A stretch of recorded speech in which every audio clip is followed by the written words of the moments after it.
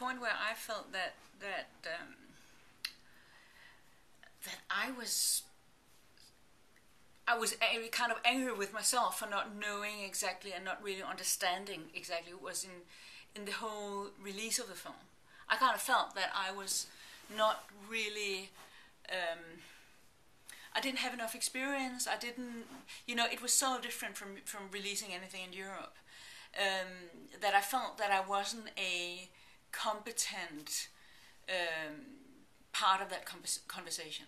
That isn't your entirely your responsibility, is it? Well, if you ask me what I learned from it, I have to learn from from myself. And and and I, this I learned. I learned that I would have to to to treat that very differently next time. Interesting. Interesting. Okay. Partly maybe in terms of, of being able to have stronger feelings about the materials and, and, and be more aggressive about saying what you like and didn't like and the way it was sold. No, but also possibly about understanding what kind of movie it is, how like being part of the conversation. I think as a director, you have to be part of everything.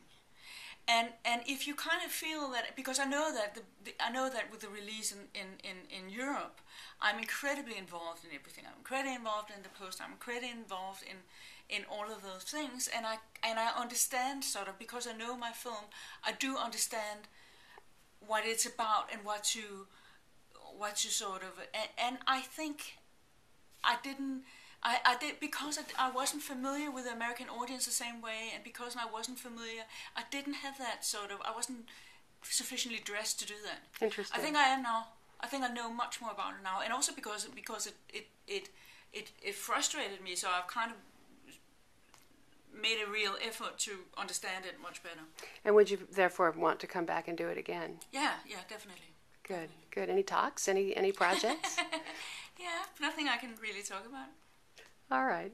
Um, so, what do you know? What you might want to do do next? Do you just do Actually, things? we, we, Anders, Anders Thomas Jensen I have written like a small little comedy, um, a romantic comedy that I think I'll probably do.